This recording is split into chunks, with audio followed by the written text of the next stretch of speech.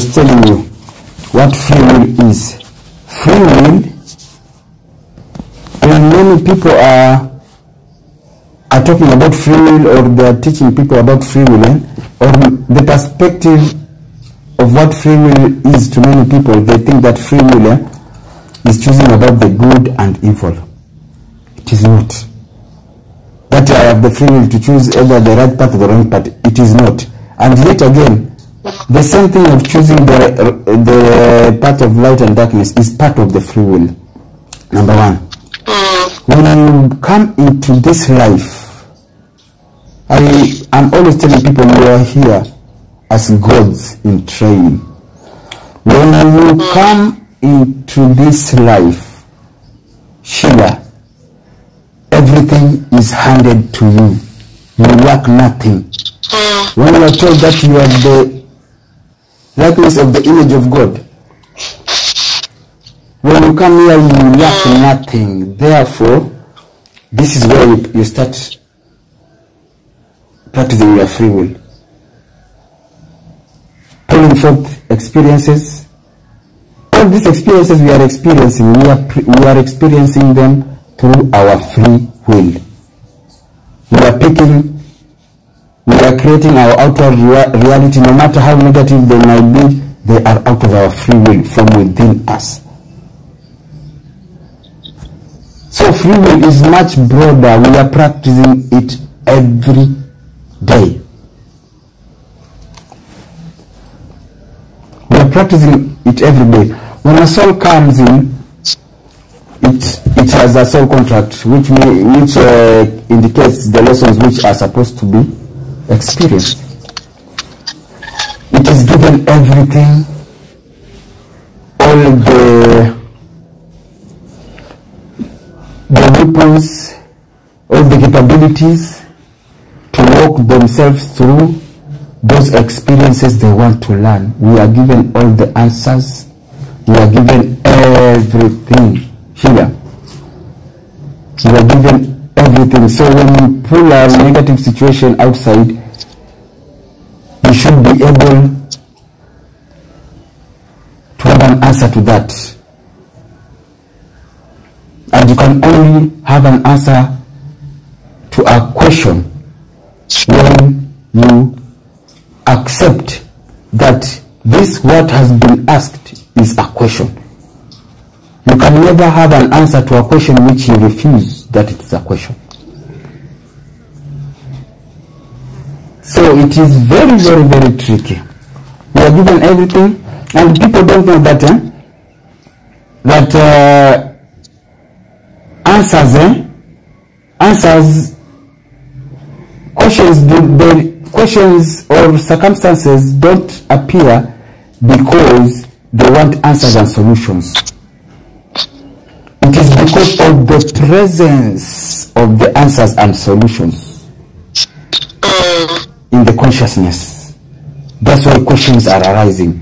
Questions are arising out of the answers so that the answers can be realized. There are the answers which want to be discovered. That's why they are raising questions. So whenever any circumstance comes around or a questions comes around or any questions which pops in your mind, Sheila, it is not seeking for an answer. There is an answer somewhere. It was seeking for that question. Seek for that answer. Tell you and tell it, hey, your question is there. You combine that. That's why me, I'm telling people everything is perfect. Everything, Sheila, everything is perfect. There is nothing wrong in this world. Mm. We are just experiencing abundance. Are, we are experiencing God. Sheila, let me tell you, people should just wake up. No matter how crazy this place is, we are experiencing the abundance of God. I'm telling you, God, on the sixth day before he rested, behold, he saw what he had created as good. and when God does not create half, and everything is God, nothing exists outside of God. Therefore, he gives immediately on the sixth day before he went to relax, on the seventh day, he had put abundance of everything of himself. So what he creates, I create light, I create darkness. I create, I bring good, I bring evil. I, the Lord God, does them all. Those are the abundances of God. Therefore, they are all here.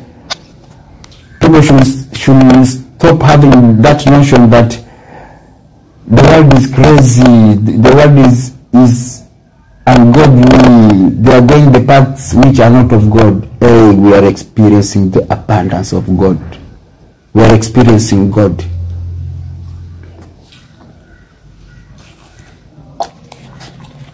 We are experiencing God. That's what he says, eh? He says you don't go to him with your blah blah blah blah blah blah. You only go to God with one thing. Thanksgiving. Sheila. The reason why you are supposed to go to God with thanksgiving is because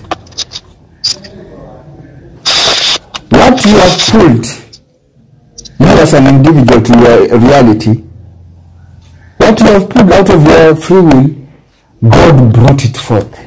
All negative, Sheila, all negative circumstances, situations, we are not separate from them. We are connected to that in one way or another. We are the ones who bring them forth. Therefore, out of our free will, we brought, we brought forth negative experiences by our own thoughts, our own emotions. We put that. That is the abundance of God.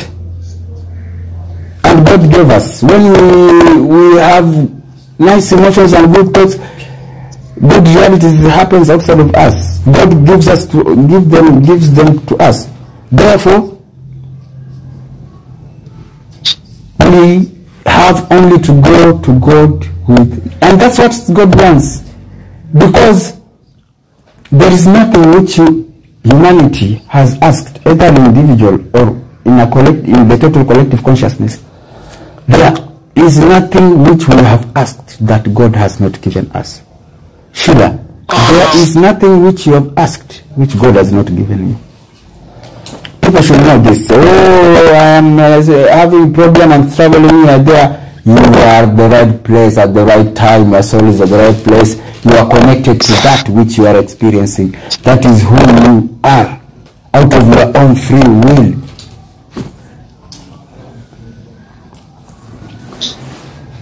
Are not supposed to go to God.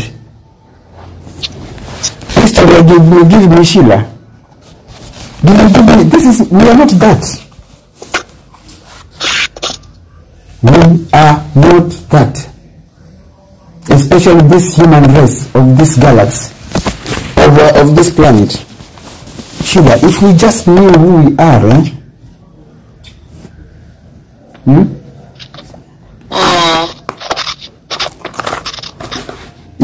If we, just knew that who we are as humanity, Sheila, we are something else. I'm telling you.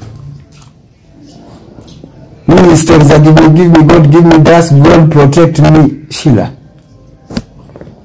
The other time I, I, I told you something, and I don't know if you took it seriously. God has got no business with us right now. His only business is connection to Him through the Christ within everyone. He has got no any other. He has nothing. If he drops here in physicality right now, he will come empty-handed with nothing. He has nothing else to give us. He has given us the most valuable thing, which is part of himself. Which is in that part is himself by itself. So unless you there is another infinite creator, you can uh, ask for something else there. But for God, He's given us everything. Out of our free will, we get to to pull forth all our crazy situations, all our crazy experiences, and everything. And people should know that whatever is uh, whatever reality we are experiencing, whatever interactions we are experiencing in our daily lives, people are brought into our lives out of our own energetic attraction to that. Our wives and our husbands are not crazy. Sheila, we are the ones who are crazy. I'm telling people, immediately you see something outside, eh? It has nothing to do with that person. Sheila, every circumstance outside, every crazy person and situation outside, by themselves, they have nothing to do with that. It has to do with you. That's why we are told not to deny anything, never to deny anything. Immediately you deny anything, you have denied yourself because everything is presented to you in accordance to your consciousness, the level of consciousness. When you deny that, you can never rise up, Sheila, unless you accept that I uh here, I got a, a crazy wife here, I got a crazy family, I got crazy friends, every I got there's a crazy situation, this is me. You are overwhelmed, participate. Don't figure out even what is that which you have to learn there. Be present there and knowing that too is of God. And your soul will guide you accordingly. Don't figure out anything. What is that I have to learn? And put your intellectual mind. Sheila, when you just in your breath and you are participating and you just know that God is, this one is a tool of God. Period. Solutions come. You cannot deny anything because out of your free will you brought everything to your experience. And many people are getting stagnated to situations and experience and happiness and discomfort outside of them because of the denial. What you deny, I always say what you deny, you have put into the hole of darkness. And as it is attached to you, it calls you there. Where you put it, it calls you there and you will be present there because it has not been, it has not denied you. Immediately it calls you down the hole of darkness, you have to be present there in that hole of darkness and experience that when it is in the depths of the holes of darkness.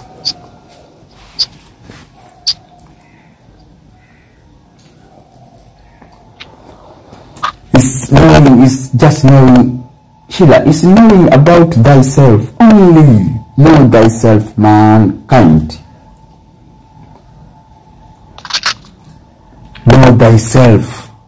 It's not about dramas outward. Outside there, everything is perfect. If someone is crazy, you have a crazy wife, they are perfect because that craziness is in the state of perfection. That's why it's triggering you. Yes, they are evil. Someone is evil, they are perfect.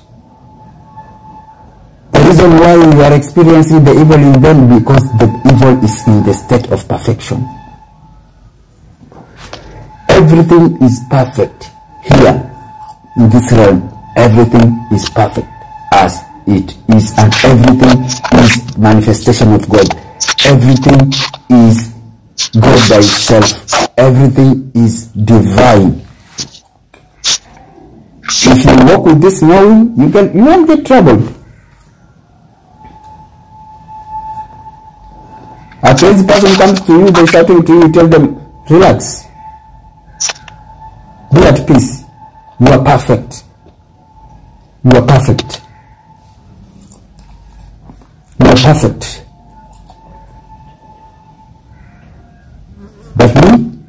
Claim the God in you. I claim the divine in you. This perfection is of God. I claim upon the altar of this perfection. Yours is to claim the altar of everything. Sheila, yours is to claim the altar of everything in existence. In everything.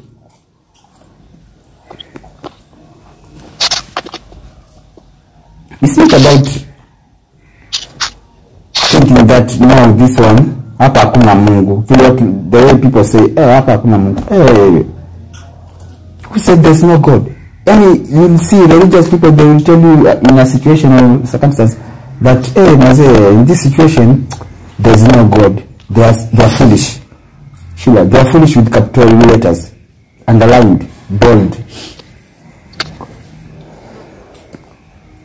The same moment they are telling they are preaching that God is omnipresent and that they are telling you here there is no God in this situation. Omnipresence means God being everywhere, in everything, at each and every moment.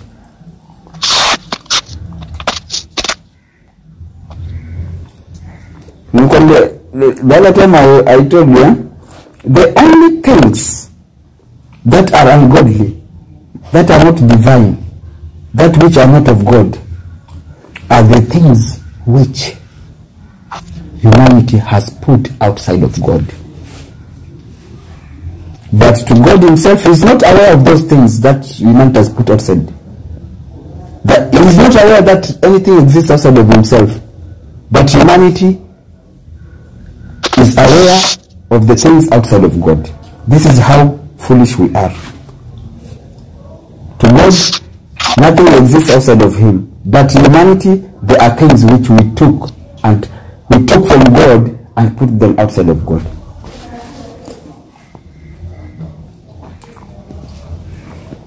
We deny things. And as I always say, and as I always say, and as I always say, it's like this, eh? When you are denying something, when you are denying something, eh? The same thing you are denying, maybe you are seeing a drunkard in a pers- another person. Ah, this lady likes sleeping with each and every man, and it triggers you. It's not good. Sheila, nothing is brought to you or brought to your reality for entertainment purposes. Nothing. When everything you are denying outside of yourself, there is always something else related to that within you, which you are denying that it is in you.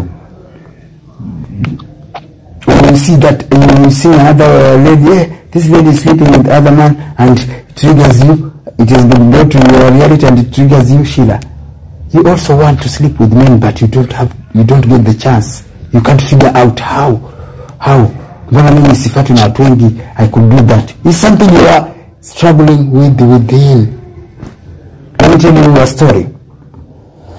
I was in some uh, some uh, church before, and they were praying that there were prayers that day of they were praying about drunkard like families with the husbands who are drunkards, and they were praying and people were praying with tongues, and they were praying with tongues for their husbands to stop drinking zap 360 degrees. Then there was a wedding in that church. I was the one who, was- who was to carry the food from where it was being cooked to the place where people were going to i think it was people were going to eat at church to bring the food at church. Sheila let me tell you one thing. We went to that place to pick food. There was a crate of beer. Guinness. I went there with the ones who were in charge of the food were the intercessory team and they were the leaders during the prayers for praying for husbands. Issues of drinking. And when we reached there, Sheila, let me tell you one thing. They eat. I don't know what happened one opened one bottle and everyone was drinking beer. Everyone, Sheila, what I'm telling you is not, is not, is not a story to motivate anyone. It is true story.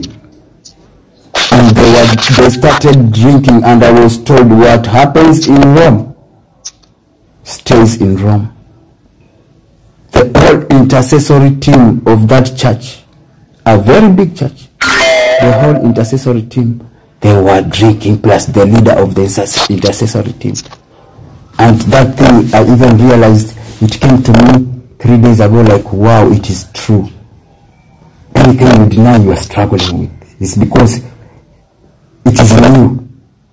You are struggling with that in one way or another. And I was told everything that happens in Rome stays in Rome. And when we left Rome, I kept quiet.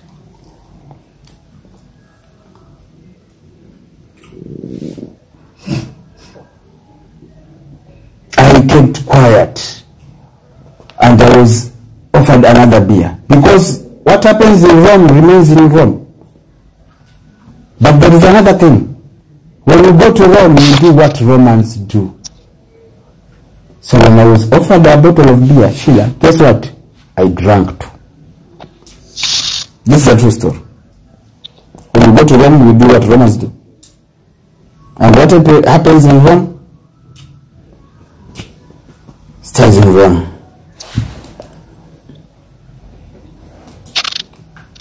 So everyone is struggling. Someone else is self-righteous and they are seeing another person as a prostitute, they too are struggling with the same thing inside.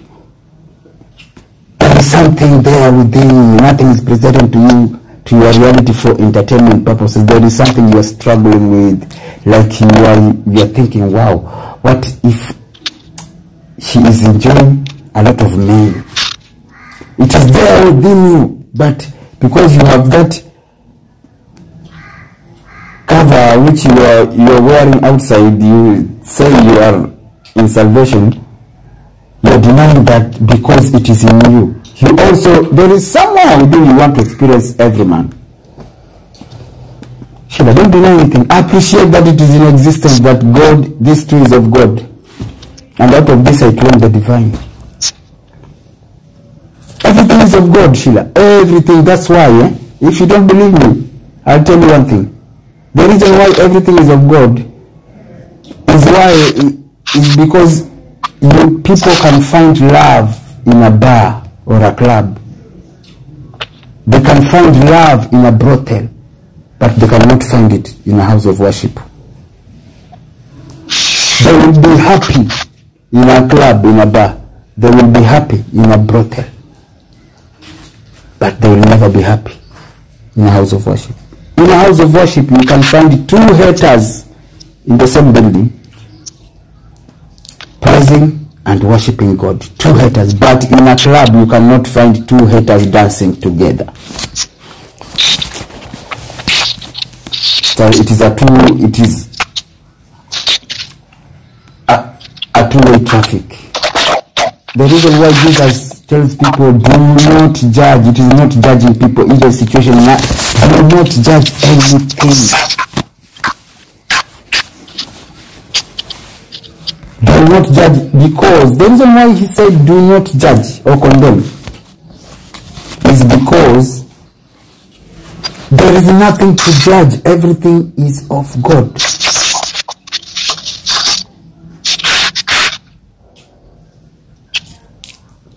Everything is of God. Like Jesus when he was here, Jesus when he was here, he walked with drunkards. And let me tell you one thing, Sheila, forget about religious things.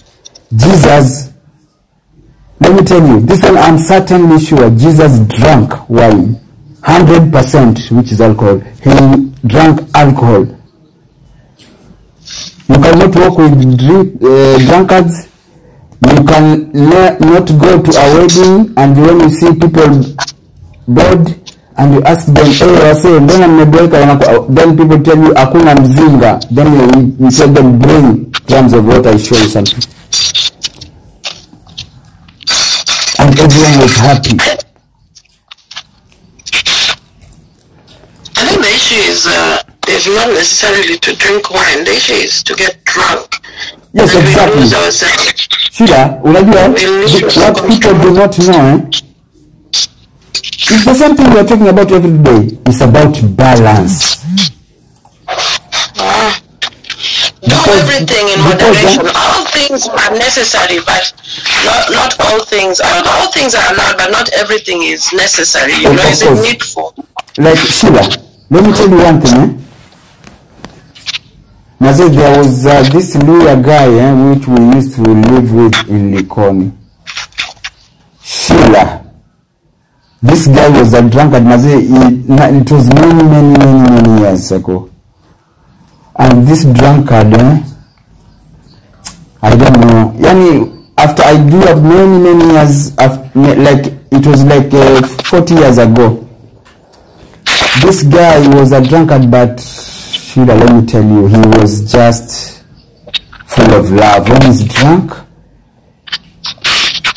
the distance from the road to our house was like uh, 200 meters or 300 meters.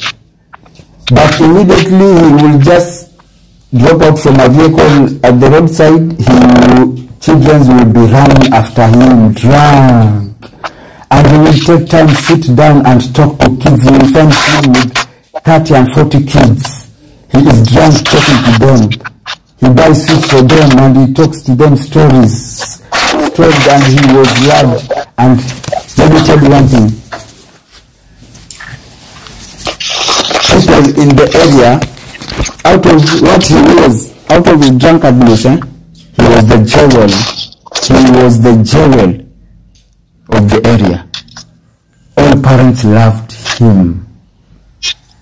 That man was he was a drunkard, still a drunkard until he admitted to himself. But he will never in in our in Likoni in our area. No matter how drunk he is and he has fallen down asleep on the roadside, people will leave him. People will carry him.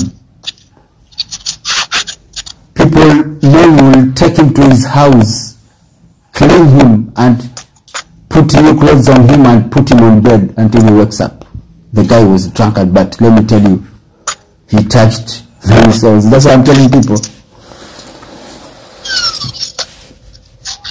God is everywhere. People experienced God. That was an experience of God in a drunkard. That moment you are judging somebody else, you are failing to experience that which is within that. You are stuck to the physicality. You are carnal. You have carnal in flesh. You are just coming to judgment through physical appearances, identities of that man, and what he has been defined to be a drunkard. That's why when, when I'm telling you, claim the divine in everyone. This is a drunkard, but you claim the divine, you are going to experience, experience the divine.